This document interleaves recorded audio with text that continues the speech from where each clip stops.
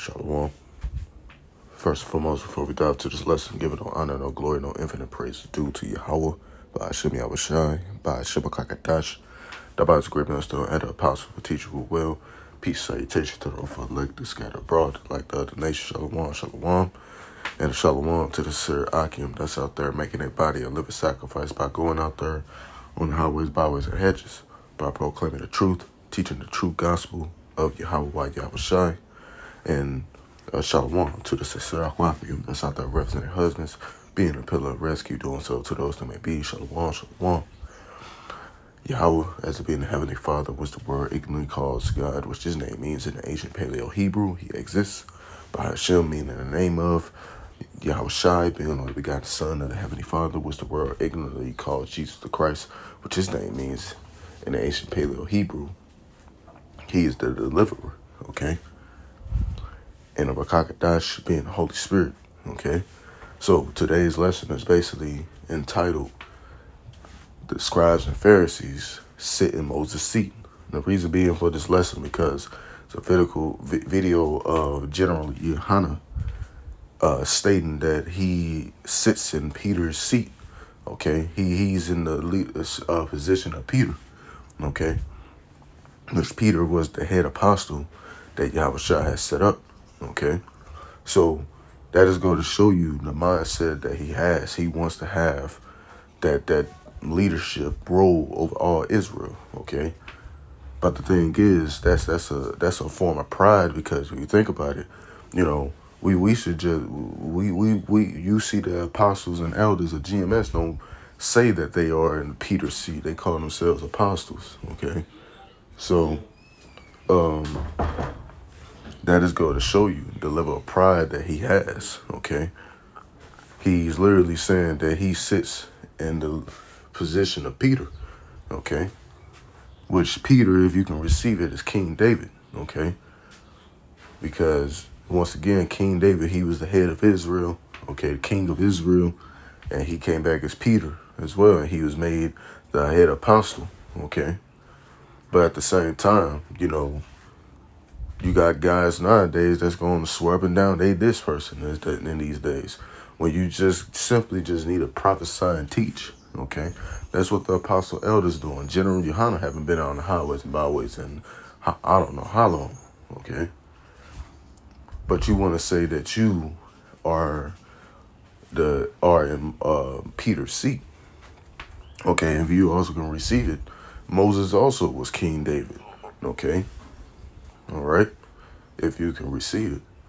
Okay, so it kind of makes sense for you know why brothers or why the scriptures say the scribes and Pharisees sit in Moses' seat if you can receive as King David. Okay?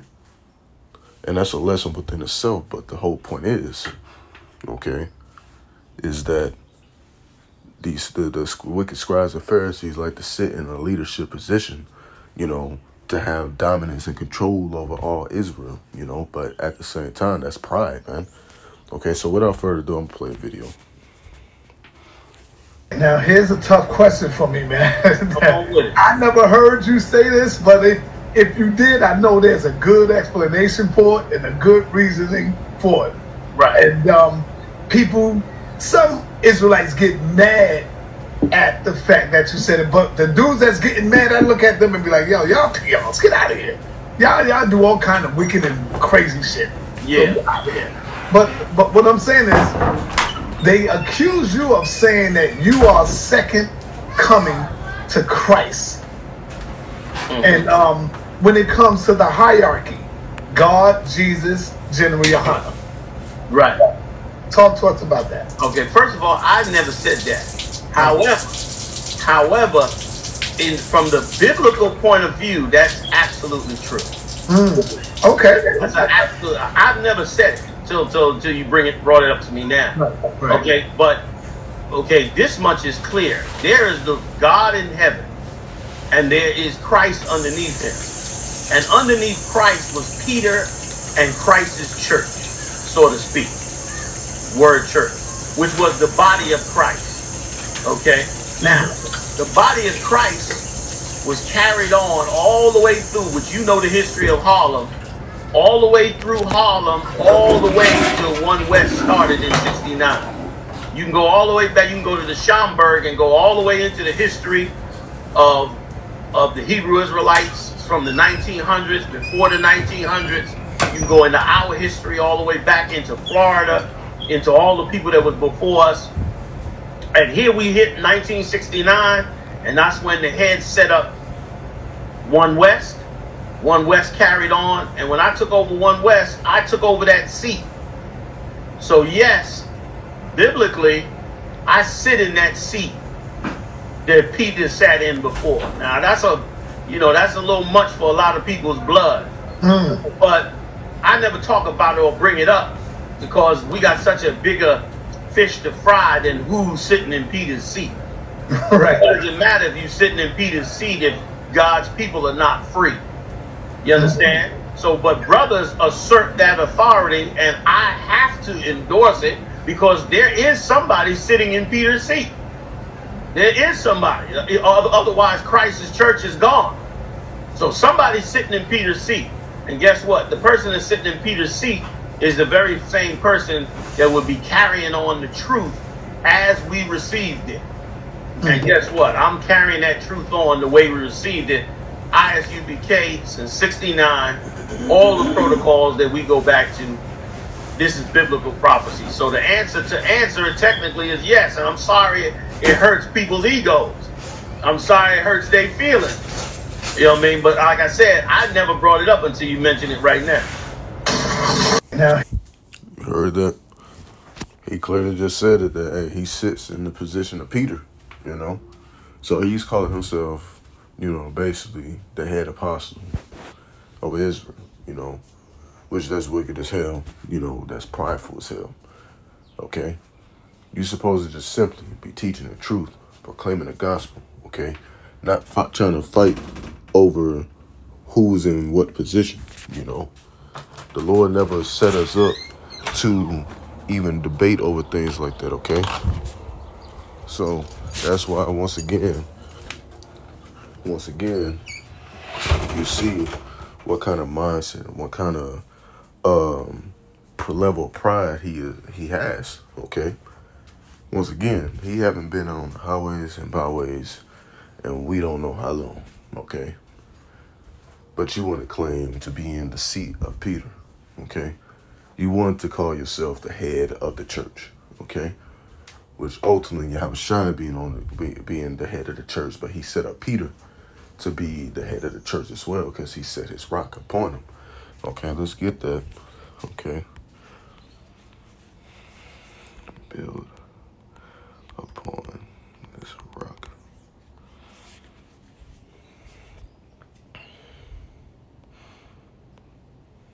Let's read it. Oh. This. And it says, And I say also unto thee that thou art Peter and upon this rock I will build my church, and the gates of hell shall not prevail against it. Okay. Uh, read this in the NLT. Um, this is now I say to you that you are Peter, which means rock. Okay, because that's what Peter's name means. It goes to the blue letter. All right, blue letter Bible. And uh, let's get uh, Matthew. 16, 18. Okay. This book of Peter. I mean, uh, Peter. It means rock or stone. Okay. So, Peter being the head apostle is that rock. Okay. And Yahushua said he will build upon that because Peter is the head apostle. Okay. So that's why, once again, you want to call yourself Peter, you know, you gotta, you gotta, you got some shoes to fill, man. Okay, because Peter's role within the ministry is very important, man. Okay, he's the head apostle. Okay, that Yahweh has set up. So if you want to claim to be that, you got a lot of explaining to do, man. Why you ain't on highways and byways teaching when Yahweh clearly told Peter, go feed my sheep. Meaning, go teach them this word, man. Okay? All right? So how are you the head apostle? You not even on the highways and byways and hedges, man. Lord said be instant in season and out of season. you haven't been out there in a minute, man. You got your look. You got your men going out there, okay. But once again, we understand that this is the scriptures speak about it, okay, about about man's pride, okay. Me.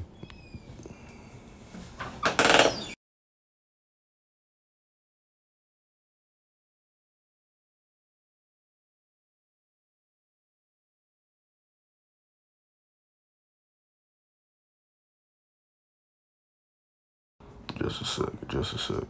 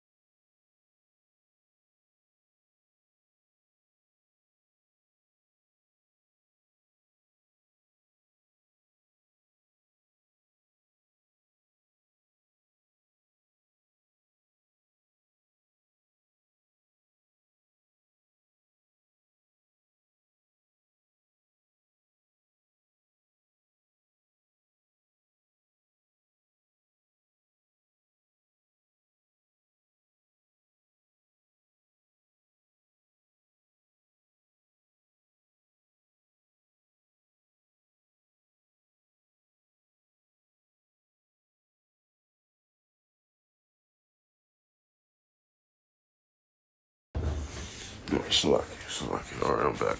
So, kind once again, getting back to it. The Lord told that the Lord just said to Peter upon it said it says that thou art Peter upon this rock. So Peter's name means rock or stone, meaning he's the head apostle. Okay. And Yahushua built it upon that. Okay. So if you can receive it, King David being being um, uh, Peter being King David. Okay. So, without further ado, uh, let's go ahead and get some other scriptures, okay? Because that is the pride to say that you are in the seat of Moses and you not even on the highways and byways yourself, okay? That's that's not being humble, man. You you got to be taking the low, okay? That's why Yahweh Shot told us to take the low route, okay? We shouldn't be speaking highly of ourselves anyway, okay? So let's get the book of uh, Matthew 23, Okay. And the reason it says this is uh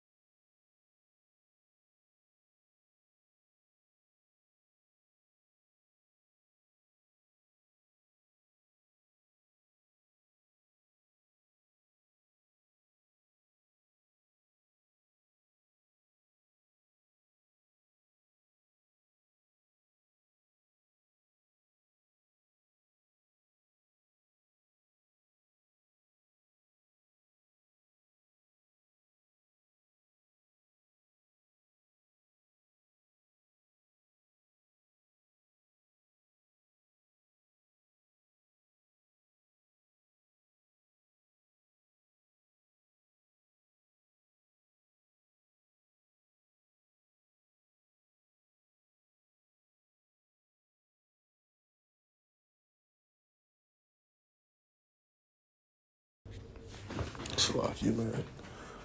You know, getting interrupted and shit. Slocky. So, getting back to it. Uh, this is Matthew 23 and verse 1, and it says, Then spake Yahushua to the multitude and to his disciples, saying, The scribes and the Pharisees sit in Moses' seat. All therefore whatsoever they say, whatsoever they bid you observe that that Slaki. All therefore whatsoever they bid you observe, that observe and do, but do not ye after their works, for they say and do not. Right, so he is saying that he's the head apostle. He sits in basically Peter's seat. Okay? But once again, you see that he is not doing any kind of work like what Peter did. Okay?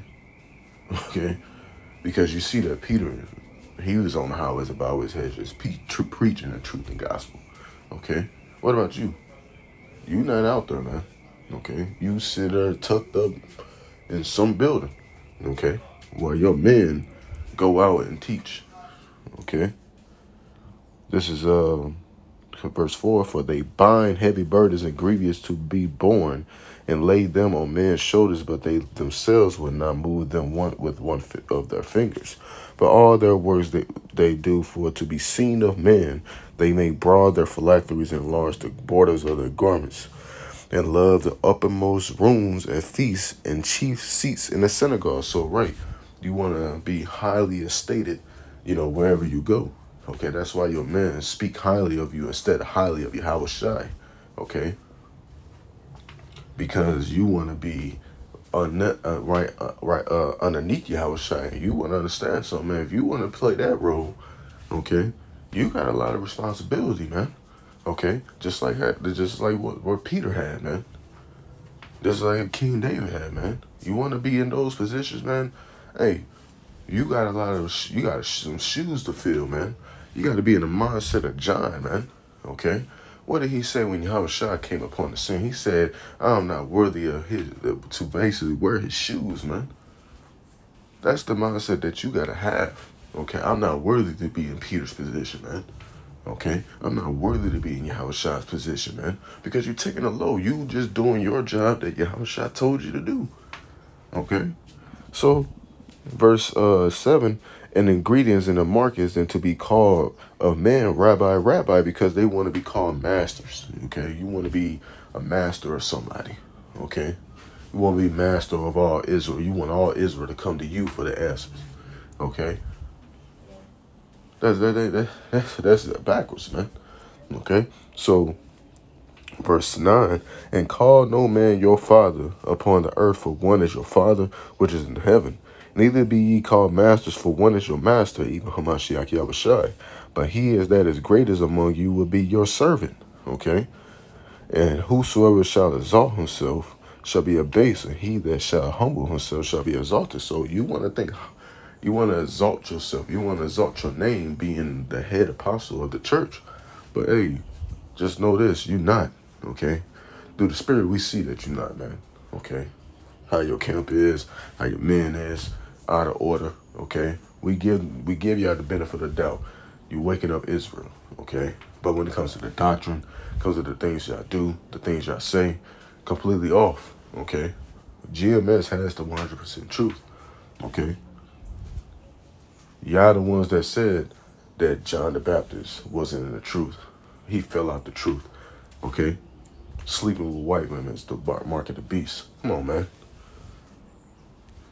Come on, man. Then you got one of your men condoning adultery. Come on now. But you supposed to be the head apostle of Israel. You supposed to be correcting that, man. Supposed to be rebuking that, okay? So, verse 13, But woe unto you scribes and Pharisees, hypocrites, for you shut up the kingdom of heaven against men, for ye neither go in yourselves, neither suffer ye them that are entering to go in. Woe unto you, scribes and Pharisees, hypocrites, for you devour widows' houses, and per, for a pretense to make long prayer. Therefore, ye shall receive the greater damnation. So, hey, you want to be in that position, seat of uh, Apostle Peter, you know, and you not behaving, hey, you going to receive that greater damnation, okay? Because Peter did his part. He did his lot, okay? He fulfilled his lot, okay? What about you? Are you on the highway highways, byways, and hedges proclaiming the truth? No. Okay. Um, let's sit on that. Now let's get the book of Proverbs, chapter 16, and verse 18. Okay, the book of Proverbs, chapter 16, and verse 18. And the reason it says, uh, Pride goeth before destruction, and a haughty spirit before a fall. Better is it to be of a humble spirit with the lowly than to divide the spoil with the proud. So, right, pride goeth before destruction, man. You know, you want to act in the matter that you are this and this and that. When in reality, you not that, man. You not the head apostle of all Israel, man. Okay? You may be the head apostle for your man over there. You know, you might be the the the the, the apostle Peter to them. You know, but to us, we know that you're not, man. Okay? We know that you're not the head apostle of uh, Israel, man. All right? Because you see the, the spirit that the uh, apostle and elders are in, man. Okay? They in a humble spirit, man. You don't see them calling themselves in the uh, second command of Yahweh Shai, man. You don't hear none of that. They just simply teaching the word, being humbly, man. Humble, man. Okay? Doing everything in decency and order, man. Okay? So, get Proverbs 29. Proverbs 29 and verse 11. Reason that says, A fool uttereth all his mind, but a wise man keepeth it in till afterwards. Right. So a fool uttereth all his mind. You just came out your ass with that one. I'm not. I somebody had to fulfill that lot. So I'ma say it. This might get under people. Uh, this might get us under somebody's pants. I'm the Apostle Peter, or basically I'm in the seat of Peter. Okay, we got a lot of fish to fry, like bro you going completely off with your pride, man. That's why the scriptures say a fool utters all his mind. You just saying what you feel like you are, man. Okay? But in actuality, you're a fool according to the scriptures if you think you are in that position. Okay? When Yahweh said, feed his sheep, where are you at feeding the Lord's sheep? Okay? All right. Let's get the book of Titus, chapter 1. Titus chapter 1 and verse 10. And it says, For there are many unruly and vain talkers and deceivers, especially they of the circumcision, whose mouths must be stopped, who subvert whole houses, teaching things they which they ought not for filthy lucre's sake. Okay? You are saying things that you ought not to be saying. Okay? That right there took me by surprise. I'm like, damn, you gonna say something like that? You are the apostle. You you you are sitting in Peter's seat. That's why the Lord said they like to sit in Moses' seat. Okay, because Moses had he he he was given the um he was basically the leader of Israel. Okay, if you receive, he's King David. Okay, but you want to call yourself Peter. Okay, Peter fulfilled his lot, man. You you not even bothering to even edify the sheep. Okay? Actually, what you are doing, you are really scattering the sheep by the things you be teaching. Okay? This is verse 12. Uh, what was it? Is oh, that was it. Verse 13, and it says, the wit this witness is true, wherefore rebuke them sharply, that they may be sound in the faith, not giving heed to Jewish fables and commandments of men that turn from the truth. So when we do these videos, man, it's honestly to rebuke you out of love, man. Okay? And hopefully you can receive it. Okay, but we we we, we want Israel to repent, but if you don't repent, then you just gonna lead yourself to be destroyed. Okay? So that's it on that. Give one more precept and signing off. Second Peter 3 verse 1 says, This know also that in the last days perilous times shall come.